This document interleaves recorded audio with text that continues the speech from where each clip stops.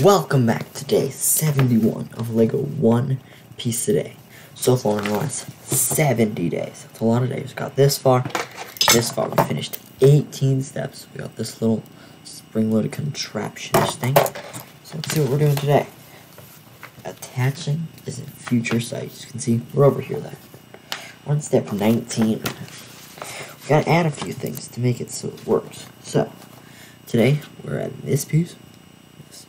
Looks, I know, we added two of those right here. We gotta add some more of them here. So where do you go? So according to my thing, it looks like there's two of them here and here. It's right down there. So, we can do that. Let's see. Am I correct? Yes. And we're gonna attach something to it later. So as you can see, it's right there. You can see. And boom. Day 71 is done. Thank you all for watching. I hope you enjoy.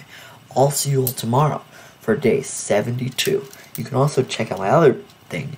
We're on day six. We're on 56. Thank you all for watching.